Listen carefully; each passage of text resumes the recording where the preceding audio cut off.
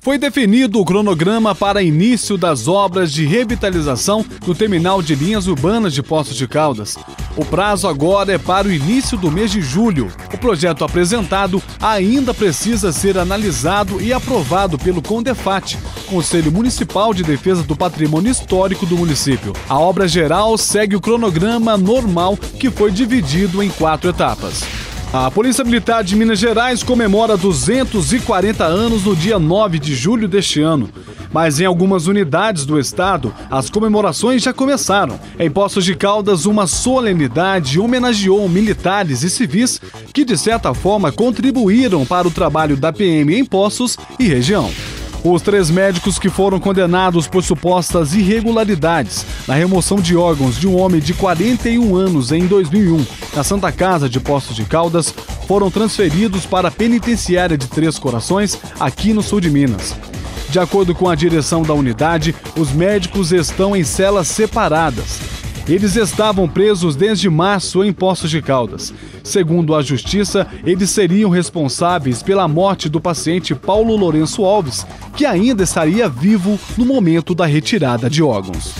Depois de anos sem melhorias, o Teatro Benigno Gaiga foi reinaugurado esta semana. Desde o mês de março, o local passava por uma revitalização. As dependências receberam instalações e equipamentos modernos que vão proporcionar mais conforto para o público e principalmente para os artistas. Os moradores do bairro Marco Divisório foram contemplados com a inauguração do Centro de Educação Infantil. A nova unidade vai atender a 150 crianças de 0 a 5 anos.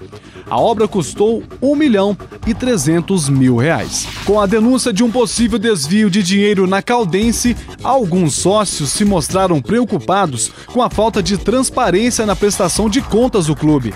A suspeita é que cerca de 2 milhões de reais tenham sido desviados durante a gestão da diretoria dos anos de 2013 e 2014.